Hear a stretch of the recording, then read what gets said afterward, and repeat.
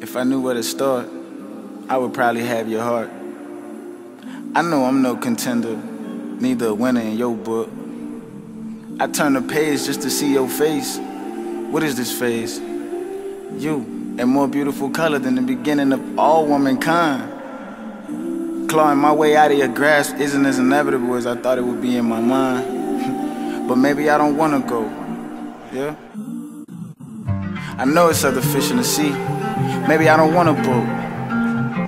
I hate to bring sand to the beach, but maybe I want to glow. Cause your eyes match good vibes like fat ass and thick thighs.